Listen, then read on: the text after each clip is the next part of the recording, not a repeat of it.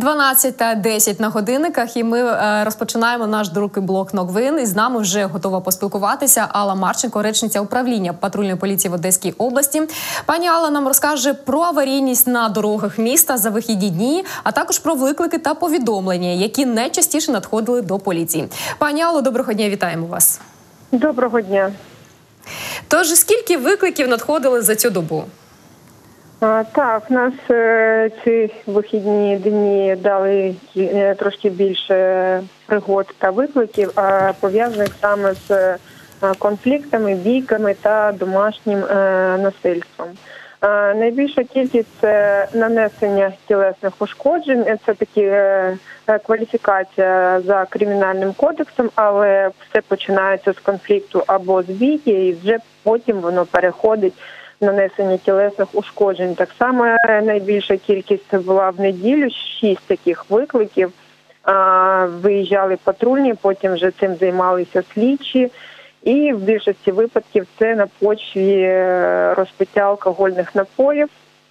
Наприклад, е, в Малиновському районі вчора на вулиці Степовій також ми отримали повідомлення про бійку та виклик е, екіпажу патрульних. На місце виїхали та з'ясували, що виник конфлікт між батьком та сином.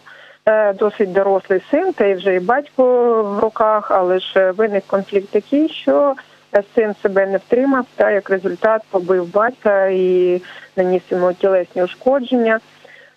Чоловіків одному надали медичну допомогу, а сина доставили до відділку поліції для подальшого з'ясування справи.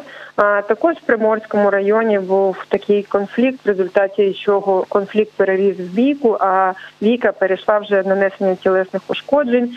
Це вже було і нанесення різаних ран склом, і вже вхід е, інший чоловік, щоб захистити е, свого товариша, взяв молотка та наніс удар. Такі конфлікти виникають в більшості на почві розпиття алкоголя, ще раз нагадаю, та в розпалі від е, вже коли людина себе не контролює. Тобто, е, як результат, це вже подальша робота зі слідчими та лікування у медичних закладах. Тож ще раз нагадую, що всі конфлікти можна вирішувати за допомогою розмов. Якщо це не допомагає, викликайте завчасно патрульних для того, щоб словесний конфлікт не переходив в бійки та в щось більш важке, наприклад, такі е, випадки, як я казала. Ну їх було більше. Я всі перечисляти я не стану. Тож е, в суботу також була знову ж таки така подія. Викликали мешканців в Малиновському районі, що по вулиці ходив нетверезий. Е, чоловік з ножем погрожував перехожим та поводив себе досить неадекватно. Приїхали патрульні, застосували спецзасоби, одягли кайданки на чоловіка. Він був був з явними ознаками алкогольного сп'яніння, і вже його в подальшому передали слідчим. На щастя, е, ніхто не постраждав.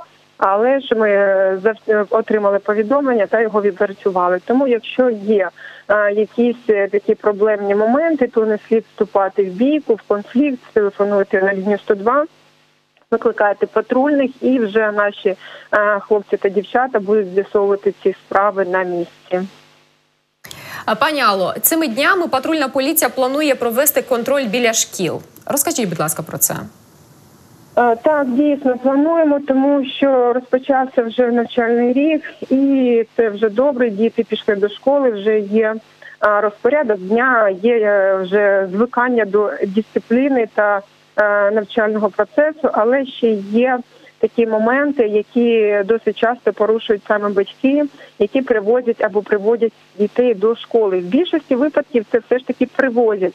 Е, поспішають і покидають автівки на дорозі з порушенням дорожніх правил, або чим перешкоджають іншим транспортним е, засобам рух рухатися, або дозволяють дітям виходити на проїжджу частину, ризикуючи життям та здоров'ям дитини.